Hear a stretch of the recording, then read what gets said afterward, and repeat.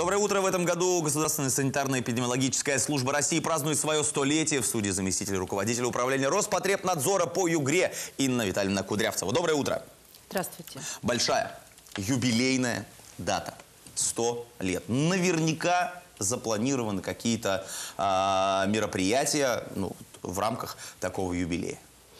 Э, Да, конечно, план мероприятий у нас обширный, э, но э, вся идеология э, этого юбилея состоит в том, чтобы э, подтвердить мастерство, дальше его оттачивать. Э, Поэтому будет э, научно-практическая конференция, поэтому будет соревнования санитарно-эпидемиологических бригад, то есть э, э, те бригады, которые выходят э, в так называемую зону поражения, должны слаженно сработать э, и продемонстрировать эффективное взаимодействие.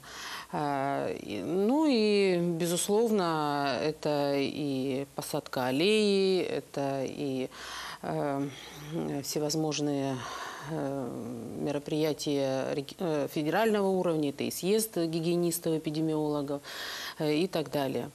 Э, Конечно, за все эти годы э, наша служба претерпела глобальные изменения, и э, то, как э, раньше была заорганизована деятельность э, всего гражданского общества. Практически нет э, сфер, которые бы не регулировались санитарно-эпидемиологическими э, требованиями.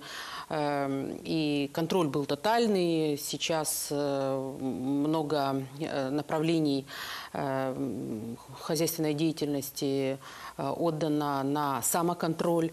Сейчас э,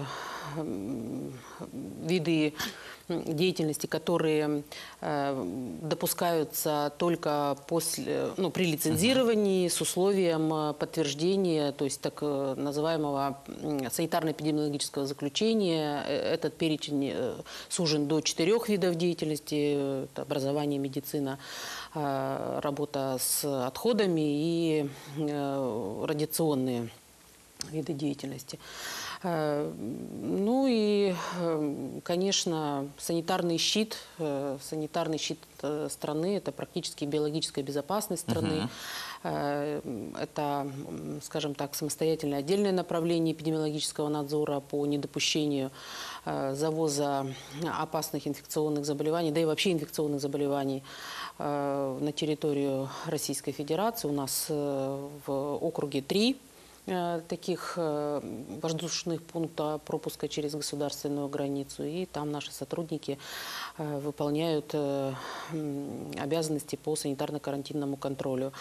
Э, Это, конечно, разрешительная деятельность. Э, Конечно, ее масштабы э, претерпели глобальные изменения. Мы вместе со всей страной переживали э, и сейчас э, еще не завершен э, административная реформа, уменьшение э, давления государства на общество, на бизнес э, и, соответственно, в борьбе с, э, с административными э, барьерами. Э, Также э, претерпел, э, ну, скажем так, э, упразднилось у нас понятие предупредительный санитарный надзор, когда застройка велась э, под э, неусыпным соком, оком э, санитарного врача. Э, Сейчас э, в соответствии с санитарно-эпидемиологическим э, требованиям выполняют э, наши коллеги, но уже работающие в строительном надзоре. Ну, то есть во, во многих сферах, Э, да? Во многих сферах, но если раньше это было государственный санитарно-эпидемиологический надзор, то теперь это элемент строительного надзора, э, м, элемент, э, есть э, самостоятельный ведомственный надзор в медицине, и там э, госпитальные эпидемиологи и так далее. Э, м, Таким образом уменьшается давление государства на хозя- различные отрасли хозяйственной деятельности и больше уделяется внимание или предоставляется возможности для самоконтроля, ну, поощряется э, м, м, самостоятельность и поощряется добросовестность. Ну вот столе- столетний юбилей, все, что было, допустим, сто лет назад, и что, то, что сейчас, 21 век, а, необходимо идти в ногу со временем, соответствовать. Тем более, мы сейчас все с вами видим, последние там а, два года, есть а, над чем бороться. То есть работы, работы поприбавилось. А, ну и, соответственно, а, это и болезни 21 века. И здесь, опять же, а, на страже, на плечи а, ложится как раз сотрудникам и Роспотребнадзора в целом. Соглашусь. Ну, то есть э, столетний юбилей – это хороший повод э, сказать всем работникам действительно спасибо. Потому что вот то, что сейчас мы имеем, это работа э, Роспотребнадзора Ханты-Мансийского автономного округа Югры.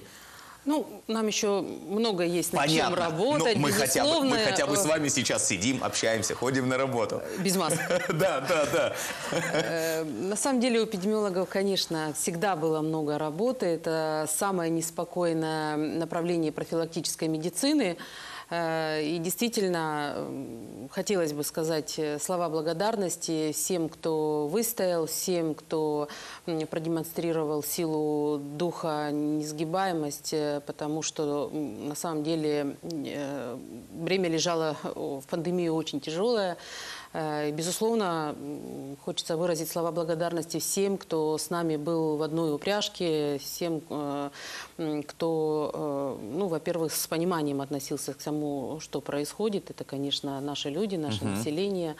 Э, м, Потом очень сильно чувствовалось плечо других ведомств, сотрудников других органов власти. Это прежде всего региональные э, органы исполнительной власти, Ну, то есть мы можем сказать, что федеральные органы власти. Конечно, один поле не воин, и только работа в команде приносит э, результаты, что мы и наблюдали на Ну и протяжении вот, всей вот он этот пандемии. результат. Сейчас мы живем обычной нормальной жизнью. А, мы еще раз поздравляем с отличным, э, со знаменательным юбилеем. Сто лет это, э, это век. А, Вот, поэтому э, всех сотрудников и а, природно- этот, Роспотребнадзора Ханты-Мансийского автономного округа Югры мы поздравляем. Наша редакция присоединяется ко всем поздравлениям, которые будут идти в ваш адрес. Вам спасибо огромное за нашу сейчас уже очень классную жизнь. Э, Ну и, Спасибо конечно, спасибо, что пришли к нам, рассказали. Доброго бодрого утра желаем вам. С гостем прощаемся, а с вами жуемся две, две с половиной минут. Дождитесь.